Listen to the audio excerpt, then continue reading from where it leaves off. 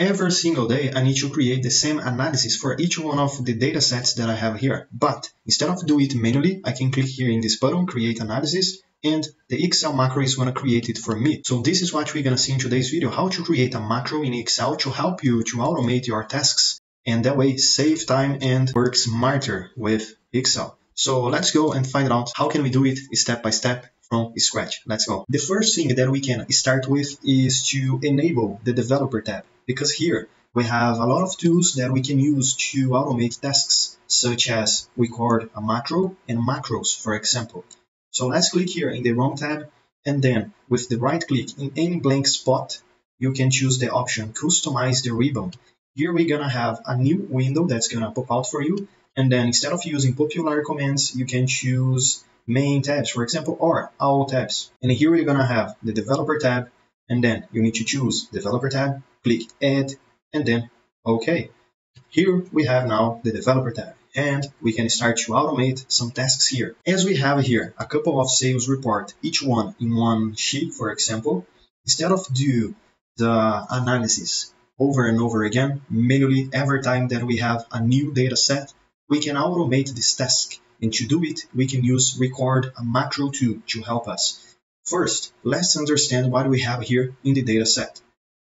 As the first column, I have the date, ID, and then region, product, quantity, total, and customer name. Let's say here, I want to know the total sold per region, for example. And to help us to do this analysis, to summarize the sales, we can use the sum if function because instead of to add up all the values in the column F, I'm gonna add up just the values that match with a criteria.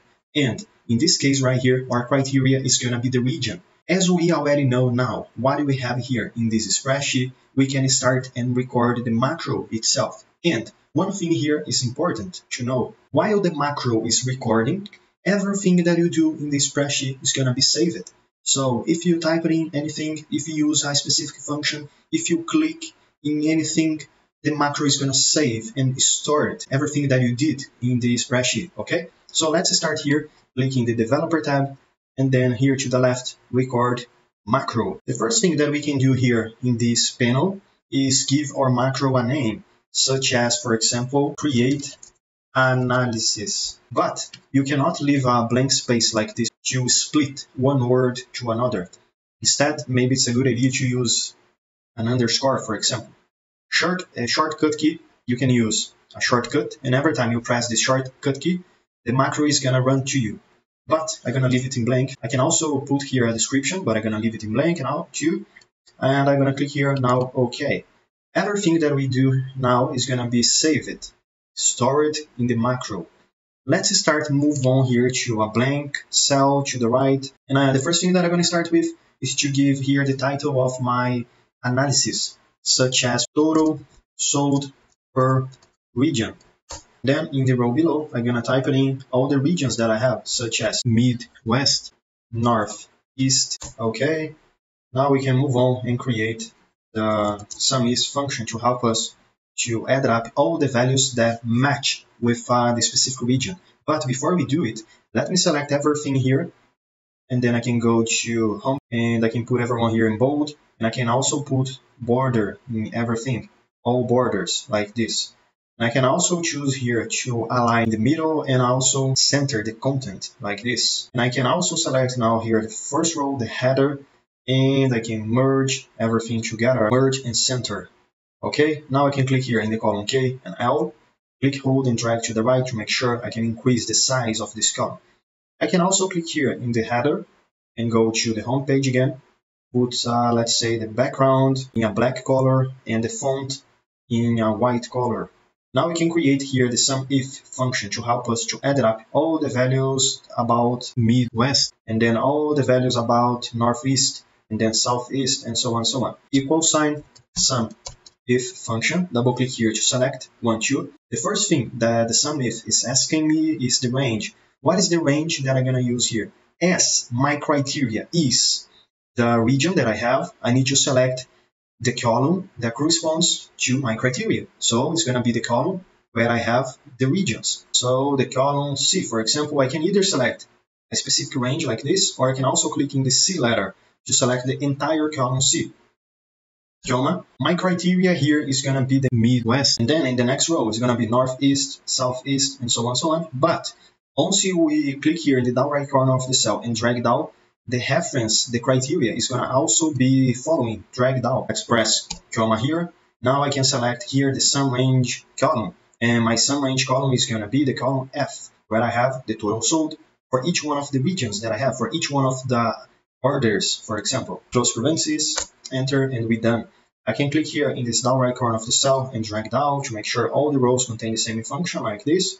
And with this range here selected, I can go to the home page and let's say I want to put the highest or the largest value into a greenish color and the lowest one in a reddish color. We can do this scale using conditional formatting here in Excel. Let me click here, conditional formatting, color scales, and I'm gonna select the first option, green, yellow, red color scale click here. And I can also select here this range and put everyone in a currency format. For example, like this dollar sign right here, accounting number format. Now we're done and we can click, let's say, in this first cell that we have here, A1, to stop the macro developer tab and here to the left, stop recording.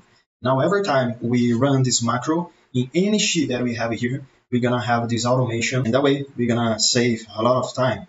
But instead of go to the developer tab and select macros, choose the macro that we create and clicking run, we can do something different here. We can create, let's say, a button, and every time we click in the button, the macro is going to be automatically run to us.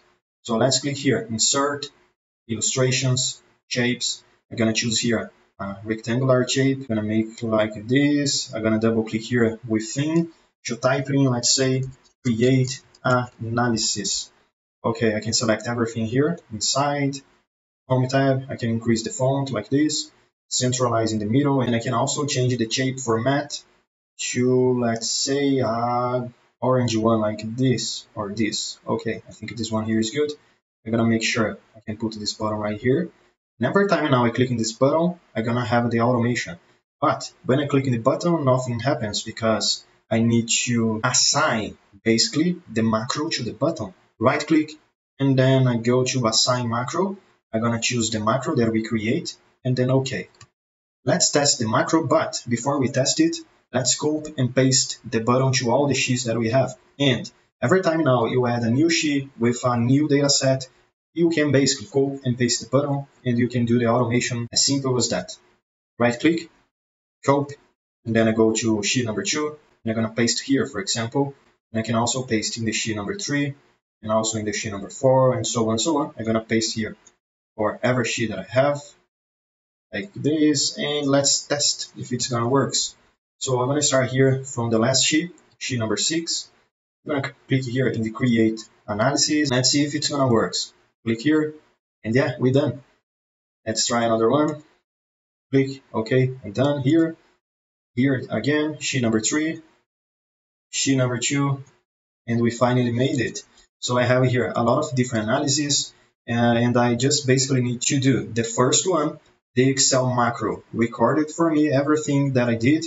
And then every time that I need to do it again, I just need to click in the button. So this is how we can create an automation here in Excel. And one important step here, instead of save the Excel file as .xlsx, for example, Instead of you need to use XLSM, okay? Because that way you can save the macro into your Excel spreadsheet. And to do it, it's pretty much easy. I'm gonna show you how can we do it. You can click here, File, and then Save As, and then you can click here, Browse, and then you can save it in any place, anywhere you want into your computer. But the important thing is, save as type.xlsm. This is what you need to select, okay? And then you can give it a name, and we're done. So I hope you guys enjoyed this video. If you have any questions or any suggestions to the next videos, let me know, comment down below, and I see you tomorrow as every day has a new video. I see you there.